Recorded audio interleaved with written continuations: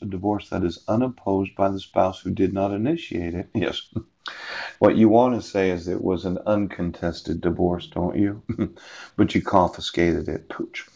And um, since I never got it, yes, as I've told you, yes, the court uh, confiscating documents that does not belong to it. Mm-hmm, mm-hmm.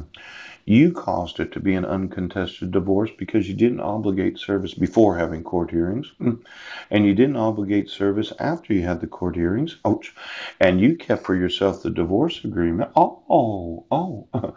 that sets out the divorcing spouse's rights and responsibility regarding property, alimony, custody, visitation, and child support.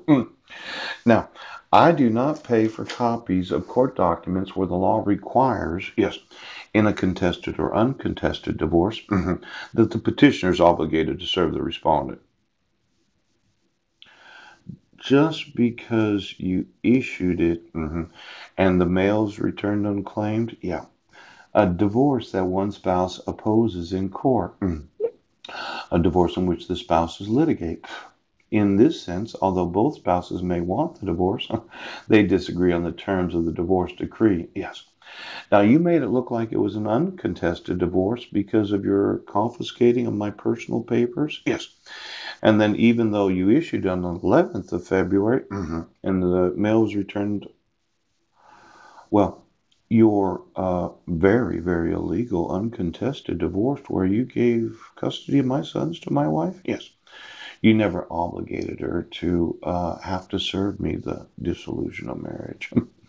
Now, I wanted you to remove that pooch because it wasn't a contested or an uncontested divorce. Yes, because you never required the petitioner to serve me.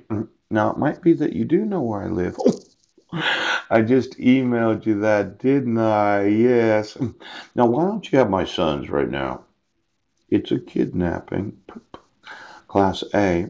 Oh, misprision of felony. Mm mandatory restitution. Yes.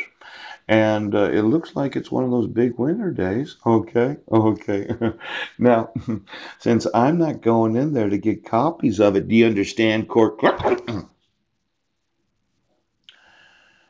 the law requires mm-hmm, the respondent has to be served even if it is an uncontested divorce. Yes.